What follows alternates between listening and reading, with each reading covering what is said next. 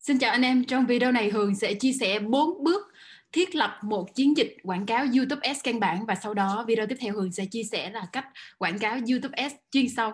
Bây giờ uh, cả nhà vào uh, ads chấm ờ, uh, google.com đây này cả nhà ads.google.com chúng ta ads.google.com đây.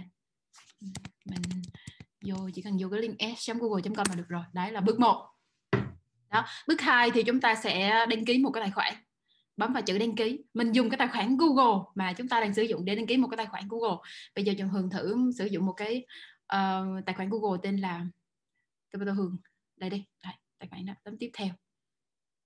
Rồi chúng ta sẽ đăng nhập cái mật khẩu của mình vô.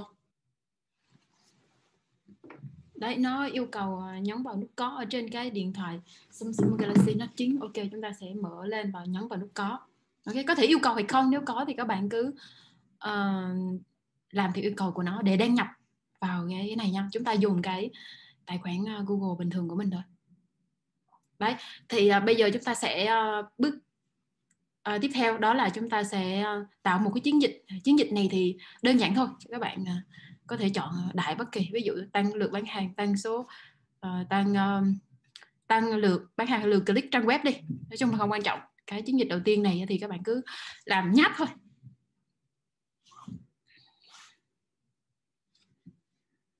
Rồi, chúng ta sẽ để tên ờ, doanh nghiệp. À, để tên là tomato hường đi.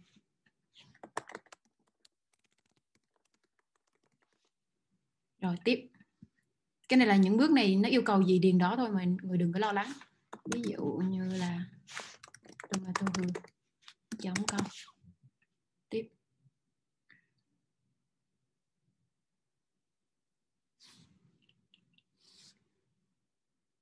Cảm ơn bạn, mọi người truy cập sau đây khi nhấp vào quảng cáo của bạn. À, ok. Ok, mình cứ bấm tiếp thôi.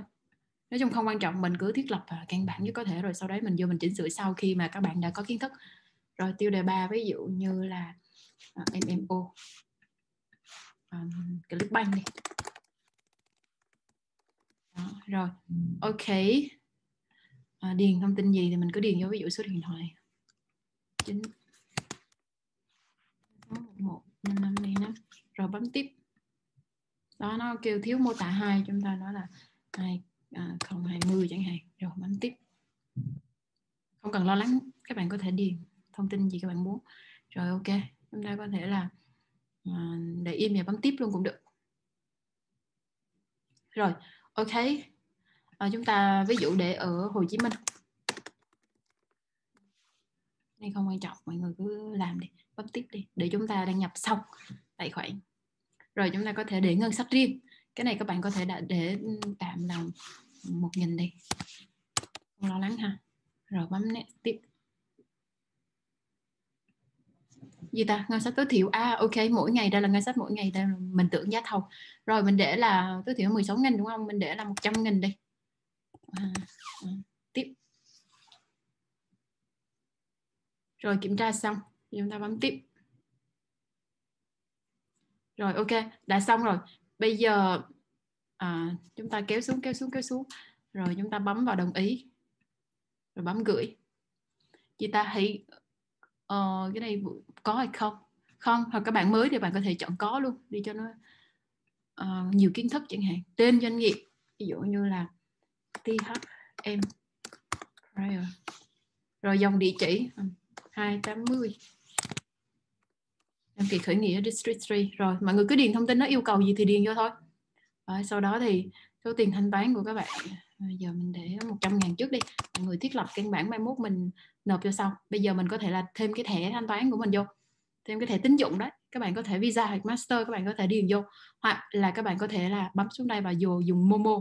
Các bạn có thể dùng momo nha. Bây giờ hưởng thử thêm momo đi cho các bạn đơn giản. Ai cũng có momo đúng không? Nếu mà các bạn có tín dụng thì add thẻ tín dụng, tức là visa, master, thẻ debit hay thẻ credit đều được. Rồi chúng ta thêm momo đi. Thêm momo. Rồi. 160 là tối thiểu. Ok, thì chỉnh nó yêu cầu thì thì chúng ta chỉnh thôi. 200 nghìn luôn. Đó. Sau chúng ta sẽ bấm next. Rồi ok, bạn sẽ được chuyển hiến đến momo. Xác minh. Chúng ta bấm tiếp tục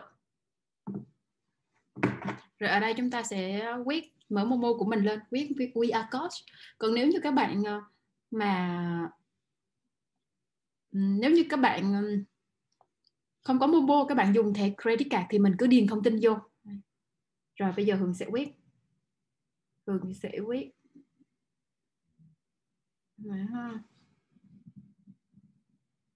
Rồi, ok. Mình chỉ quyết mã thôi, rồi chúng ta bấm ok ở trên cái ờ, cái điện thoại di động có Momo của chúng ta. Rồi xong là chúng ta đã uh, xong 200 nghìn ở trong đấy. Khi nào mà mình muốn thanh toán thì chúng ta sẽ thanh toán.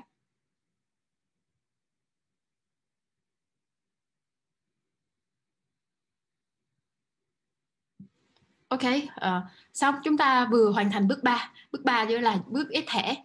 Đầu tiên đầu tiên thì chúng ta sẽ có là vào cái s.google.com bước 2 là chúng ta sẽ à, bấm vào nút đăng ký và chúng ta đăng ký uh, điền thông tin của mình vô. Bước 3 là chúng ta sẽ ép thẻ ok?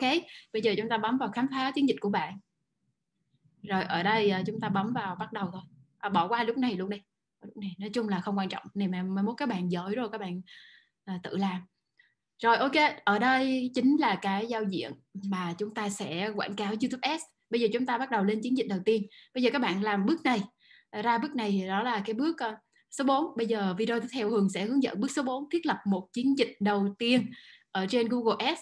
Sau khi mà chúng ta biết thiết lập chiến dịch đầu tiên căn bản rồi thì chúng ta sẽ học cách tối ưu hóa học ờ, cách làm thế nào để chạy quảng cáo uh, quảng cáo tiếp cận nhiều khách hàng hơn nhưng mà ít tốn chi phí hơn thì nằm ở các video tiếp theo ok nhớ đăng ký kênh và xem các video tiếp theo của Hường nha